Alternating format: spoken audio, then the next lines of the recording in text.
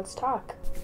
Hey you guys, this is Ashley Morgan from badashtraining.com. Today I want to talk to you about overtraining. There's a misconception in the fitness community that in order to see results, you have to work super hard every freaking day. Every damn day. Western logic tells us that working really hard is going to equal really great results. May I share with you a parable? There's a partially opened window and a fly that wants to get out of the partially opened window. The fly works really, really hard, trying and trying to fly out of the window. Meanwhile, there's a spider.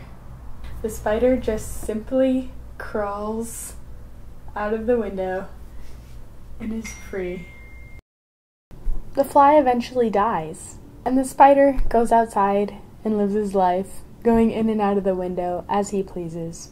Hard work doesn't always equal success. Sometimes, in order to be successful, you have to do the right thing. So, if you're doing something over and over and over again and you're working really, really, really hard, but you're not seeing a result, then it's time to change your approach. So, maybe instead of just running into the glass, you need to find an open window. I call this strategy strategic laziness. Basically, you just do what you need to do in order to reach your goal and you don't do anything else. The key to being successful with strategic laziness is to monitor your outcomes. But you tweak something in your program, in this case, we're talking about weight loss. You are consistent with that change for a week or two weeks or however long, and then you measure the change. So for weight loss, you would weigh yourself you know, at the beginning, you would make a change, you would do that for about a week, then you would measure your progress. If you've lost weight, your change worked, and hopefully it's you know, less work than what you were doing before because you were probably like beating yourself into the ground, which was unnecessary. That's how strategic laziness works. It's just being smart about what you're doing, and when something isn't working, change it. Okay, totally unrelated to what we were just talking about. Yesterday, I ran into this lady. Basically, she had like a super sad story. I just wanted to share it because I feel like a lot of people can relate. I Guess I'm in sort of a parable type of mood today. So, anyways, I meet this lady, and she had put on a whole bunch of weight after being diagnosed with an autoimmune disease basically she gained 200 pounds within like a six month period. Her skin completely stretched out completely changed. She's now healthy and has lost all the weight that she gained and in my opinion looked great. But she's very very unhappy with her body because she has loose skin and there's not really too much she can do about that.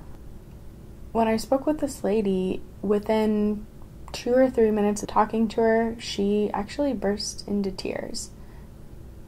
And even though I can totally appreciate where she's coming from because she had no control over what happened to her body, it just made me think why is what you look like the most important thing to you right now?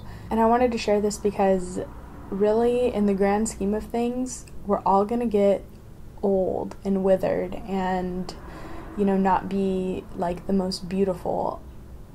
And at the end of the day, what really matters is how healthy you are and how how well you can get around in your day to day and the experiences you have.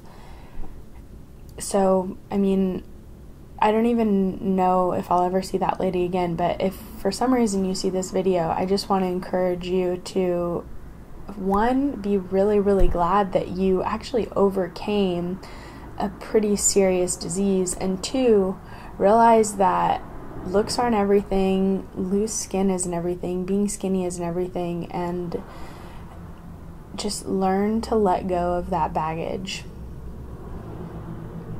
because life is too awesome to hold on to it. So, anyways, I know that got a little bit deep and emotional, but hey, it's what I believe. It's really important.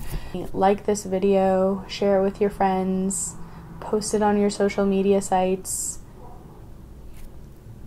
I will talk to you soon, babes. Love ya. About down came the